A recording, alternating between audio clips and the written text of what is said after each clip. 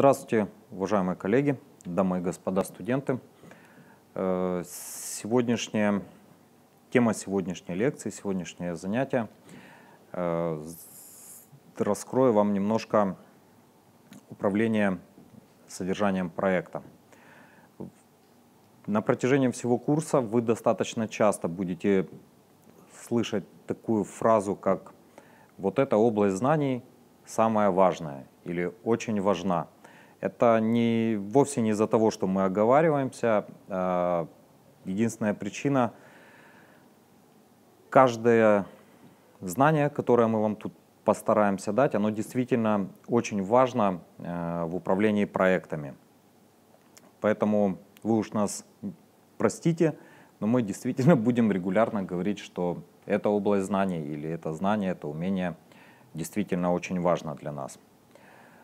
Управление содержимым, содержанием проекта — это одна из важнейших областей знаний и умений для успешного проект-менеджера. Процессы управления содержанием проекта э, необходимы, в принципе, для того, чтобы в проект были включены только необходимые работы и ресурсы для достижения целей проекта я сейчас перечислю эти процессы. Это процесс планирования управления содержанием проекта. Это процесс сбора требований к проекту, определение э, содержания, создание иерархической структуры работ, подтверждение содержания и, в принципе, непосредственно контроль э, содержания этих работ. Процесс планирования управления содержанием проектов – это процесс создания плана управления содержанием проекта, документация. Э, в принципе, документация, она описывает, каким именно образом будет определяться содержимое проекта, э, подтверждаться и контролироваться это содержимое. Процесс планирования – предоставляет руководство и указания относительно управления содержанием проекта на протяжении всего проекта. На выходе этого процесса мы получаем два плана. План управления содержанием и план управления требованиями.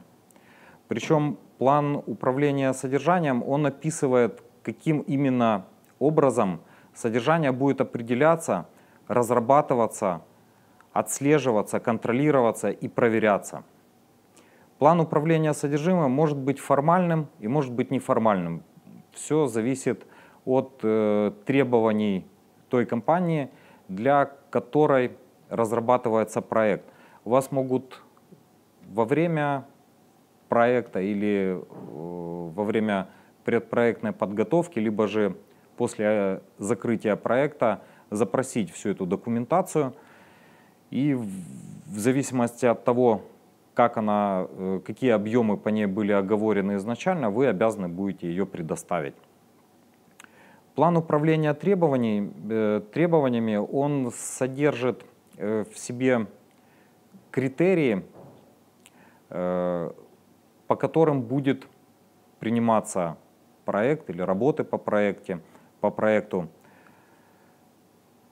Также он описывает способы анализа э, соответствия вот этим э, конечного продукта к требованиям, которые были изначально оговорены. Сбор требований. Это процесс, в принципе, который сам за себя, ну, как бы из названия можно понять. Э, это процесс определения, документирования и управления потребностями и требованиями заинтересованных сторон для, успешного, э, для успешной реализации проекта. На успех проекта очень сильно влияет вовлеченность всех заинтересованных сторон э, в выявлении и декомпозиции потребностей э, в требованиях, а также тщательность определения, которые предъявляются к продукту или же к услуге, или же все-таки к конечному результату проекта. Определение содержания проекта – это процесс очень подробного описания проекта и продукта. На выходе этого процесса мы получаем четко определенные границы проекта, то есть э, мы имеем перечень задач, которые, которые мы будем решать в проекте, и перечень задач, которые мы вот решать просто не будем. Например, если мы разрабатываем какое-то мобильное приложение, мы можем оговорить, что в рамках проекта мы разрабатываем непосредственно сам продукт, мы обязуемся предоставить э, исходный код заказчику, но мы не будем э, выкладывать непосредственно уже готовый продукт там, на App Store или Play Market. Или же мы можем, там, предположительно, мы можем сказать заказчику, договариваться сразу с заказчиком, что да, у нас там будут митинги, там колы какие-то, но мы не будем, мы не берем на себя обязательства, мы не будем э, в рамках проекта, в масштабах проекта выезжать к заказчику. То есть это может быть изменено, но это будут изменены условия проекта и ну, фактически это будет change request. Э, следующий выход э, по, по, в процессе определения содержим, содержания мы четко оговариваем ожидаемые результаты. То есть все, о чем мы говорили, мы фиксируем документально, очень-очень-очень подробно. И у заказчика, и у нас у нашей команды исполнителей должна быть одинаковая картина результатов реализации проекта. Следующий процесс – это создание иерархической структуры работ или э, Work Breakdown Structure. Это процесс разделения э, предоставляемых результатов проектов и работ по проекту на меньшие компоненты, которыми, в принципе, легче управлять. На выходе или результатом этого процесса мы имеем саму структуру, схематическую структуру, э, в которой есть э, ну, такая, такая себе блок-схема, в которой есть большие, э, большая задача, и она побита на более мелкие задачи. Если вы занимаетесь разработкой программного обеспечения, то я вам рекомендовал бы вам, чтобы в конечном итоге э, вот эта вот структура, она была подана на оценку э, в таком виде, чтобы э, конечный блок, то есть э, самый маленький Э, объем задач, который был в этой структуре, мог один разработчик решить на протяжении одного рабочего дня. Как у вас в компании принято, это индивидуально. Лично я считаю, что разработчик на протяжении 8-часового рабочего дня в состоянии эффективно работать где-то 6-6,5 часов. Исходя из этого, я разрисовываю эти структуры таким образом, и, в принципе, таким же образом я стараюсь э, подавать задачи на оценку. Есть компании, в, котором, э, в которых определено рабочее время 8 часов, и разработчику ставится задача закрыть 8 часов э, работы по задаче. Им создаются условия очень комфортные, когда разработчик может пойти поиграть в теннис, посидеть, порубиться в приставку. И чем бы он ни занимался на протяжении рабочего дня, это чисто его личное дело, но к определенному там времени, например, там, к утру следующего дня, будь любезен, 8 часов по задачам закрой. Такое в украинских компаниях тоже практикуется и практикуется достаточно успешно. Следующий процесс это процесс подтверждения содержания. Это процесс, в принципе, э, формальной э, приемки получения поставленных результатов проекта. То есть это не сам процесс передачи, а именно э, процесс, как бы так правильно сказать, согласования с заказчиком, что все, что описано э, в документации, э, в скопе, это все действительно то, что он хочет получить по, э, во время сдачи проекта. То есть по результатам реализации проекта он хочет получить именно вот это. Здесь очень важный момент, я об этом говорил ранее, у заказчика и у вас вашей команды должна быть абсолютно одинаковая картинка по содержимому проекта. Что вы решаете? Какие, э, какие способы решения там, задач? Э, что на выходе будет? То есть эта картинка должна быть абсолютно одинаковая. Чем больше требований вы сможете взять из заказчика, выудить, там, выпросить, уточнить, э, тем вероятность того, что э, проект будет сдан именно в том виде, который ожидает заказчик, вот прям один к одному, вот эта вот вероятность, она, она увеличивается. Следующий процесс – это процесс контроля содерж... Э, содержания. Это процесс мониторинга состояния проекта или продукта – а также управление изменения базового плана по содержанию. Я хочу обратить ваше внимание на то, что если у проекта меняется цель, содержание это один вопрос. Вот если у проекта меняется цель, то, ну, как по мне, то это уже совсем другой проект. То есть мы брали, строили, строили дом, цель была построить дом, а тут бабах и цель, чтобы поехал автомобиль. То есть, так, чтобы вы себе понимали, когда меняются задачи по проекту, смотрите, чтобы они не расходились с целями проекта.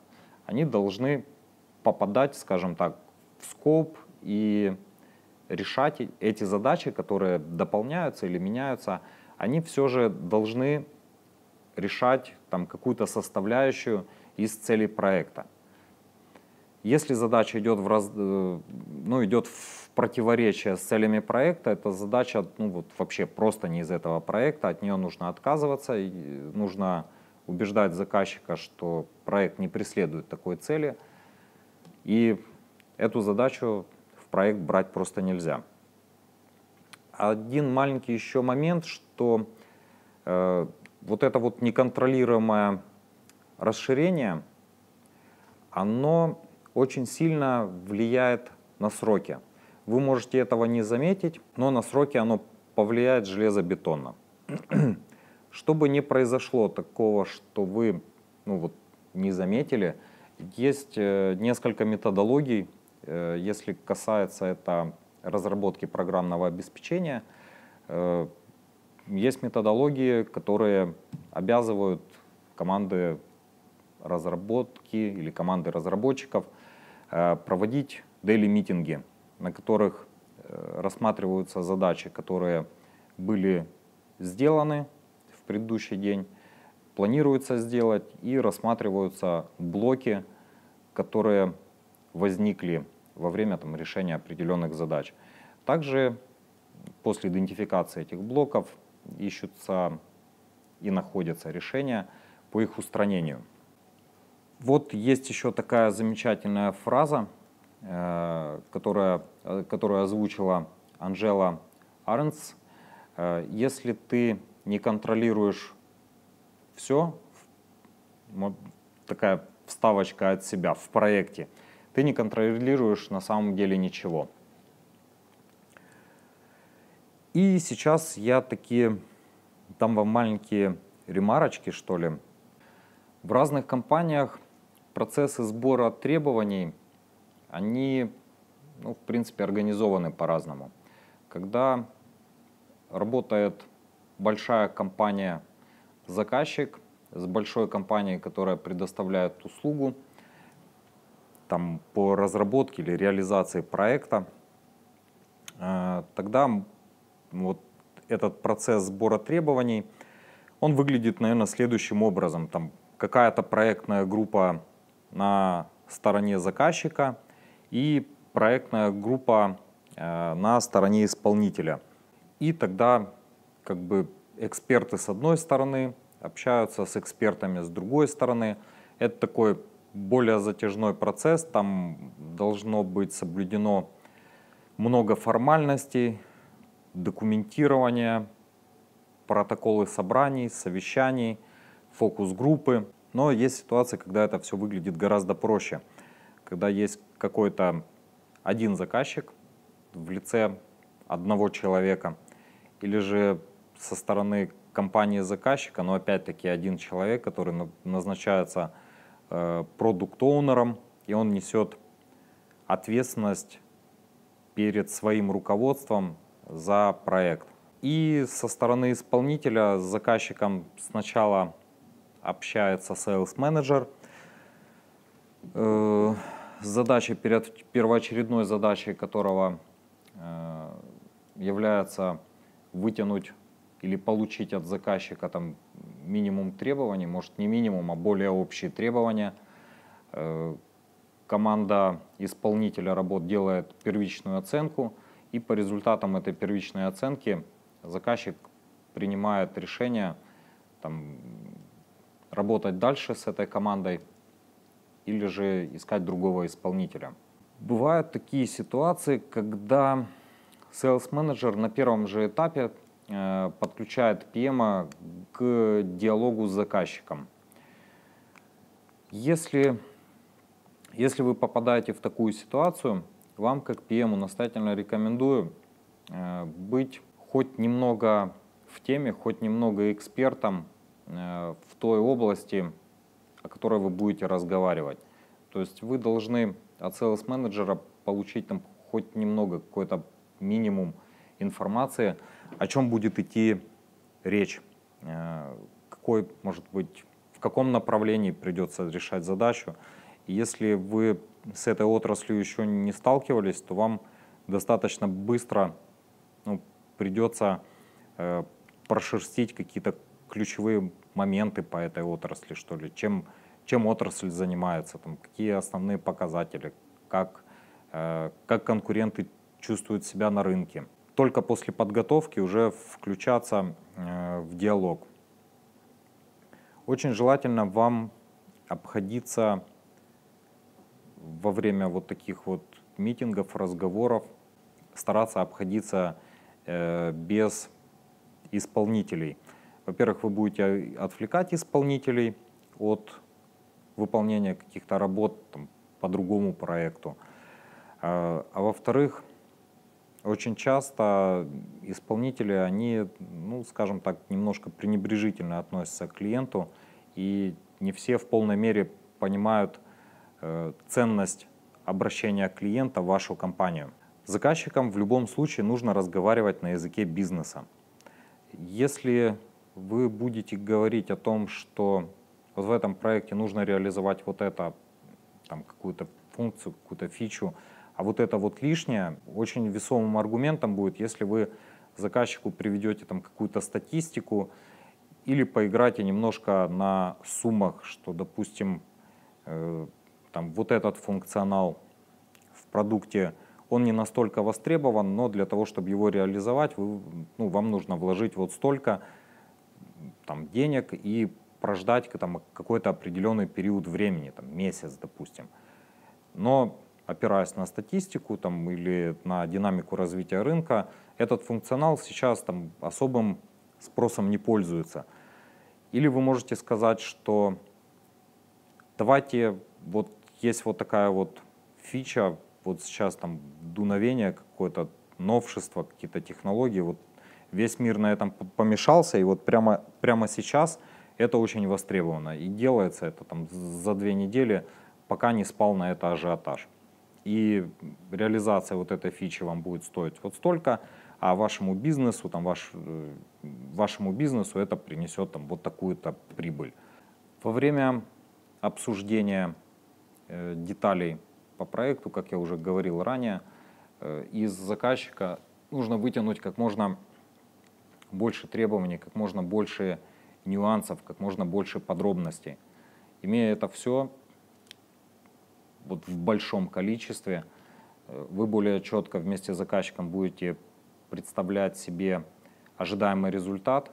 Уже если это все будет задокументировано, вам просто придется не разочаровать заказчика. Э, настоятельно рекомендую не соглашаться реализовывать глупости. Если вы реализуете какую-то глупость, не сумеете убедить в этом заказчика, э, в итоге ну, заказчик может предъявить претензию к вам там, с таким вопросом, почему вы мне об этом не сказали. Ну, окей, сказали, а почему вы меня в этом не убедили?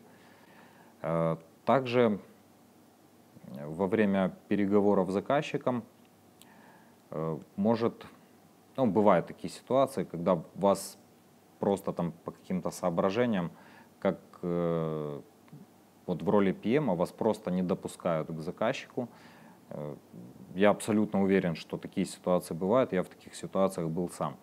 В такой ситуации для вас э, будет лицом заказчик, э, ну, заказчиком непосредственным тот человек, который, который разговаривает с заказчиком и передает требования вам. Это может быть там или sales менеджер или бизнес-аналитик. Очень дискомфортно э, время между вопросом и ответом очень сильно затягивается. Я вам сейчас хочу показать э, схемку такую. Это называется, вот эта схема, она отображает, в принципе, что должен э, содержать продукт на, на начальном этапе, наверное. То есть есть э, в каждом продукте есть функционал важный и нужный, есть функционал дополнительный. Вот это вот MVP модель, э, минимум available product, э, минимальный жизнеспособный продукт. Вот вам, глядя на эту схему, чтобы вы себе понимали, если вы работаете, вот, вот абсолютно однозначно, если вы работаете с какими-то стартаперами, если э, вам заказывают продукт на попробовать, на прощупать рынок, и если во время реализации вот такого продукта вы себя правильно поведете, э, преподнесете себя или покажете себя с очень положительной стороны, вы получите кучу плюсов в карму, и с большой вероятностью вам этот продукт достанется на дальнейшее развитие. Э, все фичи, весь функционал, он должен у вас попадать вот в этот самый левый верхний квадрант. Там выполняются два условия. Это продукт максимально жизнеспособный, и при этом он имеет всего ну, небольшой функционал, там несколько фич, основных причем. Э, все, все остальные, остальные квадранты, они либо ведут ну, вот, просто к смерти проекта, когда вот, продукт не, не жизнеспособный, потому что ну, в нем ничего нет. Это по определению, по-моему, любой продукт на старте он такой.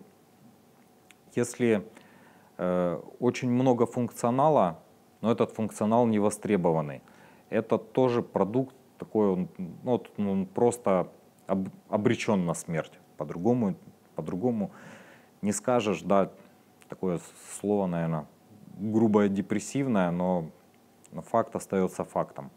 И есть еще такой э, момент, когда функционала очень много, э, продукт жизнеспособный, и это, вот тут есть такие затруднения, э, во-первых, время релиза затягивается, когда этот продукт пытаются утяжелить функционалом, вроде бы когда хорошо, здорово, заказчику попадает весь функционал сразу, но при этом время получения обратной связи увеличивается очень сильно, и ну вот, можно очень долго ждать, чтобы себе понять и сориентироваться, там, э, в каком направлении дальше развивать продукт, что пользователям более востребовано, что менее востребовано, что не востребовано вообще.